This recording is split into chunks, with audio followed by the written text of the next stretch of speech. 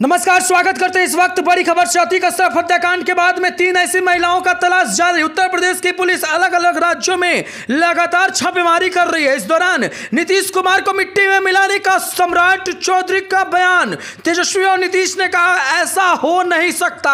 अब तो बड़ा वक्त का सामना करना पड़ेगा। इसके साथ आज की बड़ी खबर में बात करेंगे। लोकसभा के सभी सीटों पर चौंकाने वाला परिणाम आएगा उत्तर प्रदेश से। अखिलेश यादव का दावा, सभी सीटों पर चुनाव लड़ने का वादा। ममता बनर्जी ने भी कहा, तीसरा बड़ा मोर्चा तैयार करेंगे। बीजेपी से नाराज़ लोग और कांग्रेस से नाराज़ लोग करेंगे हमारा समर्थन। सम्राट चौधरी ने साफ़ तौर पे बिहार में अगला योगी खुद को बताया, देश में कुछ नया क्रांतिकारी लाने का प्रयास जारी। ऐसे में बात होगी आज की बड़ी खबर में, शिक्षा, दीक्षा और अन्य व्यवस्थाओं पर। नीतीश सरकार पर किस तरीके से लगातार घेरती नज़र आ रहे हैं और क्या है नई जानकारी? शुरुआत करते हैं इस वक्त की बड़ी और मुख्य समाचार से। उससे पहले इस वीडियो को लाइक ज़रूर कर दीजिएगा। जानकारी के मुताबिक इस वक्त नीतीश कुमार को मिट्टी में मिलाने का बयान दिया है और ये बयान सम्राट चौधरी ने दिया है। सम्राट चौधरी मानते हैं कि जिस तरीके से बिहार के अंदर बिहार के लोगों को यहाँ जगाने का हम लोग प्रयास कर रहे हैं, राजनीतिक तौर पर नीतीश कुमार मिट्टी में मिल जाएँगे। और ये बयान जब से आया है तब से लेकर के अभी तक भूचाल सा मचा हुआ है। बीजेपी के प्रदेश अध्यक्ष का ये बयान कैसे?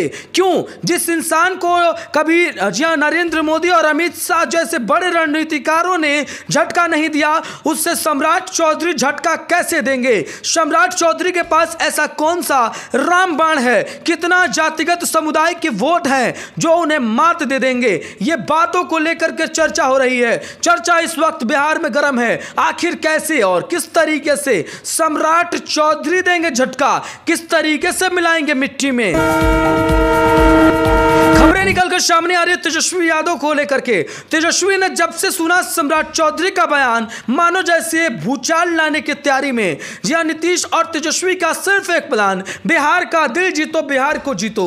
जी हाँ बिहार के दिल जीतने के लिए युवाओं को रोज़गार दो और युवाओं के लिए हमेशा से कर्रत रहो।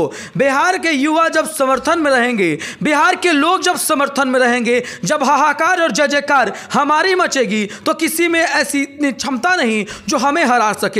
यह तेजस्वी यादव का बोल है और तेजस्वी यादव के नाम की चर्चा तेज़ी से आगे बढ़ रही है। ऐसे में क्या है तेजस्वी यादव के लिए आपका समर्थन? अपनी राय कमेंट में लिख के बताइएगा। अगर आपको भी लगता है कि Tejashwi best CM of Bihar होंगे तो इस वीडियो पर पाँच हज़ार से ज़्यादा लाइक कर समर्थन कीजिएगा। ज़्यादा से ज़्यादा शेयर भी। और अगर आपको रोज़ाना की बड़ी खबरों को देखना है तो सब्सक्राइब करना तो बिल्कुल भी ना भूलें, क्योंकि आप तक सभी जानकारियों को पहुँचाने का प्रयास हमारी पहली प्राथमिकता और विश्वास रहा करती है।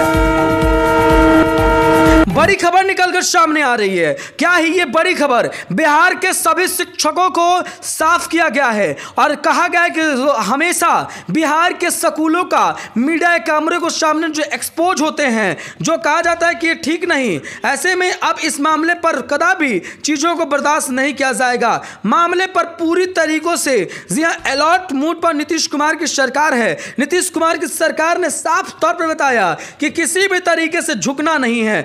लड़ाई को लड़ना है। और ऐसे में जब आज युवाओं को रोज़गार मिल रहा है तो कुछ लोग बीजेपी के सिखावे और बढ़ावे पर आकर के विरोध कर रहे हैं। अरे, विरोध करना बंद कीजिए, पढ़ लिख करके शिक्षक बनिए और देश की सेवा कीजिए। यह आपकी पहली प्राथमिकता हो सकती है। हालाँकि अब नीतीश कुमार असली मुद्दे पर हैं। मानते हैं कि बिहार के पहले के शिक्षक ठीक नहीं है। इसीलिए विश्वास सब सब पर नहीं किया जा सकता। जाँच तो होगी, सबकी होगी, मेरिट लिस्ट की भी जाँच होगी। बड़ी खबर निकल कर सामने आ रही है लालू प्रसाद यादव को लेकर के। लालू प्रसाद यादव, आज चर्चा में क्यों? लालू प्रसाद यादव की नाम की चर्चा आखिर क्यों? आइए सबसे पहले लिए चलते हैं बिहार की रणनीति और राजनीति में। बिहार के गरीबों को हमेशा से अधिकार का पाठ पढ़ाया। बिहार के लोगों को हमेशा से कुर्सी पर बैठना सिखाया। चप्पल क्या होता है और आँखों में आँखों को डालकर अधिकारियों से कैसे बातचीत की जाती है? वो नाम थे सिर्फ़ लालू प्रसाद यादव। और ऐसा ग्रेट फुल नेम था बिहार के लिए। ये भले ही आज उन्हें बदनाम किया जाता हो या साजिश हो, षड्यंत्र हो, चाहे जो कुछ भी हो, लेकिन लालू प्रसाद यादव हमेशा से ऐसे रहे अब माना जाए लालू चाचा का एक बार फिर से देखने को मिलेगा नया चौराबा और ऐसे में ये किस तरीके से चर्चा देखने को मिलेगा, आपको बताते हैं। लोकसभा चुनाव में किडनी ट्रांसप्लांट के बाद में लालू प्रसाद यादव डिजिटल प्रचार प्रसार और वीडियो के माध्यम से मैसेज को पहुँचाने में रहेंगे सफल। बड़ी खबर और बड़ी जानकारी। आइए नई खबर के साथ बढ़ते हैं। जी बिहार के चर्चित चेहरा और जिसे माना नीतीश और तेजस्वी ने, एक नेता लेटर में लिख करके कहा कि मनीष कश्यप ना तो पत्रकार, ना तो यूट्यूबर, सिर्फ़ एक नेता है, जो पिछली बार विधानसभा चुनाव चंदपटिया से लड़ा था। अच्छा खासा वोट भी मिला, पर चोट नहीं मार पाया। और यही चोट अब आकर के मार रहे राजनीति करने के लिए दो राज्यों को भड़काने का प्रयास था। यह बात सूत्रों के हवाले से आईटीटी को मिली थी। इस बात को लेकर के आई जिया कहीं से सार्वजनिक करने की स्थिति में नहीं, लेकिन जो सूत्रों ने हमें बताया, उस खबर को हमने चलाया। अब मनीष कश्यप के लिए तमिलनाडु से लेकर के बिहार तक मुश्किलें बढ़ रही हैं। ऐसे में सुप्रीम कोर्ट का दरवाज़ा खटखटाने के बाद में 28 तारीख के परिणाम पर सबकी निगाहें।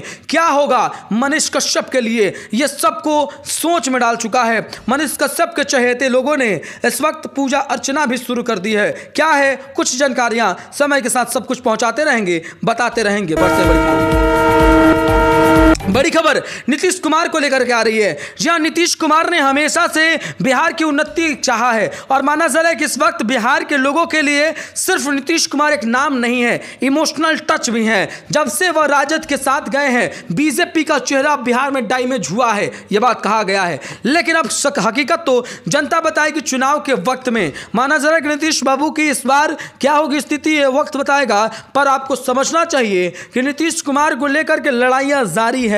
और नीतीश कुमार को मिट्टी में मिलाने का बिहार के बीजेपी के प्रदेश अध्यक्ष सम्राट सिंह का अगर बयान सामने आता है तो ऐसा बयान क्यों? और किस तरीके से? एक नेता का ऐसा बयान? जी हाँ जिस नेता ने अभी नए नवेले बिहार के प्रदेश अध्यक्ष के भाजपा की कुर्सी को संभाला हो, ऐसा है क्यों? क्या आ गए हैं वो योगी? क्या उत्तर प्रदेश के बाद में बिहार में भी योगी की आपसी?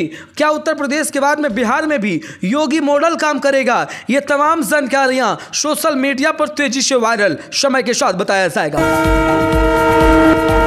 बड़ी खबर निकल कर सामने आ रही है इस वक्त और बड़ी खबर यह है कि आज यहाँ चर्चा इस बात को लेकर के है कि अमित शाह क्या करेंगे। भैया अमित शाह को लेकर के खूब मचा बवाल और अमित शाह ही अमित शाह। ऐसे में अमित शाह को लेकर के कुछ नई जानकारियाँ आइए विस्तार से बताते हैं। अमित शाह ने देश और दुनिया में अपने नाम की डंका पीटा है लेकिन डंका तो पीटना है लोकसभा के चुनाव में।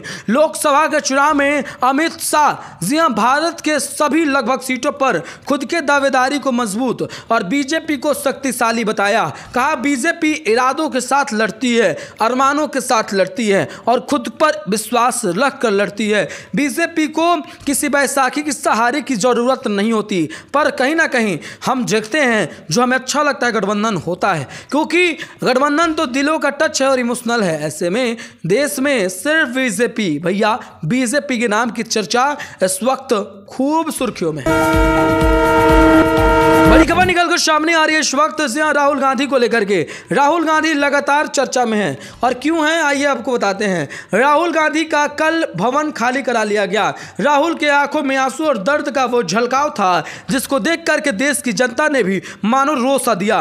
भावुकता के साथ राहुल ने कहा कि देश की जनता ने उन्नीस सालों से जिस घर में रहने का मौका दिया था, सरकार ने एक झटके में उस घर से बाहर निकाल फेंका। हमने सरकार का सम्मान किया। हमने भवन को खाली कर दिया। भवन आपको जब जैसे मन करे ले सकते हैं। भवन की चाबियाँ भी सौंप दी। उन्होंने कहा कि हमारे लिए जब तक सौभाग्य था, जब मैं यहाँ था, आज कहीं ना कहीं जो कुछ भी हुआ, इसके लिए कोई दिक्कत नहीं है। जेल जाना पड़ा तो जाऊँगा, लड़ाइयाँ लड़नी पड़ी तो लड़ूँगा। लेकिन जो लोग हमें परेशान कर रहे हैं, जो लोग हमें ये कोशिश कर रहे हैं कि मानहानि से दबा दें, नहीं दबूँगा। फिर आऊँगा, फिर बोलूँगा, फिर जेल जाऊँगा, पर बोलता रहूँगा, क्योंकि गरीबों का आवाज़ हूँ गरीबों के लोगों के साथ और समर्थन में काम करने का अंदाज है बड़ी बड़ी खबर निकलकर सामने आ रही है इस वक्त बिहार में। बिहार में संपूर्ण शराबबंदी कानून के बावजूद भी जहरीली शराबों के सेवन और मौत के बाद में आज लगातार चर्चा हो रही है। ऐसे में क्या है ये नई चर्चा? आइए सबसे पहले आपको चौंकाने वाली खबर बता देते हैं। बिहार में इस वक्त मुआवजे का ऐलान हो चुका है। किसी भी व्यक्ति की जहरीली शराब के सेवन से मृत्यु के बाद में उसे पैसा दिया जाएगा। सरकार का आदेश है कि उसे पैसा दिया जाए। समय के साथ सरकार के इस नियंत्रण और कानून के साथ ही नियमों के बदलने बदलने और तमाम जानकारियों के साथ ही ये एक अच्छी पहल है, जिस पहल से सरकार हमेशा आगे बढ़ सकती है। चौबीस में चुनाव का अच्छा खासा फ़ायदा उठा सकती है। अब अपनी राय कमेंट में दीजिएगा, आपको क्या लगता है? इस वीडियो को ज़्यादा से ज़्यादा शेयर करना ना भूलिएगा। नीचे दिए गए रेड कलर के बटन को दबाकर चैनल को सब्सक्राइब भी कर लीजिएगा। जय हिंद।